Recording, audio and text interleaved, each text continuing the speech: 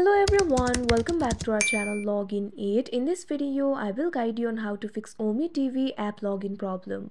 So if you also want to fix Ome TV app login problem, this video is just for you. Follow the simple steps and you'll be able to do it. So you might be having login problem because of various reasons. First of all, make sure to check your internet connection. If your internet connection is not stable, that might be the reason for the login problem. So make sure you're connected to a stable network. If your problem still persists, it might be because you're not using the latest version of the application. In that case, what you have to do is update the application. For that, first of all, open Play Store. Make sure you're logged into your account. You can see over here Play Store has been opened.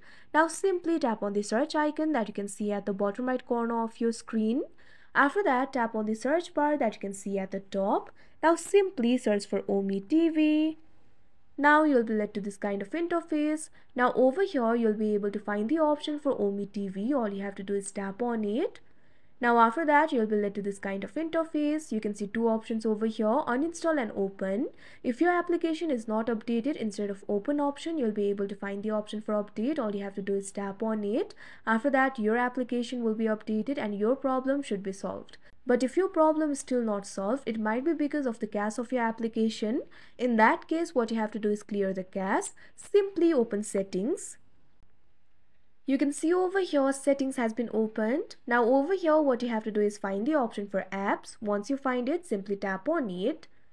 Now after that you'll be led to the apps interface. Tap on the option see all apps. Now you'll be able to see all of your applications over here. Over here, what you have to do is find the application for Ome TV. Once you find the application for Ome TV, all you have to do is tap on it. Now after that, you'll be led to the app info interface of Ome TV. Over here, you'll be able to find several options. What you have to do is find the option for storage and cache. Once you find it, simply tap on it. Now after that you can see over here you'll be led to the storage and cache interface. Over here you'll be able to find two options clear storage and clear cache. What you have to do is tap on the option clear cache. Now after that the cache of your application will be cleared and your problem should be fixed. But if your application is still not working what you can do is try uninstalling the application and install it again. After that your problem should be fixed. So that is how you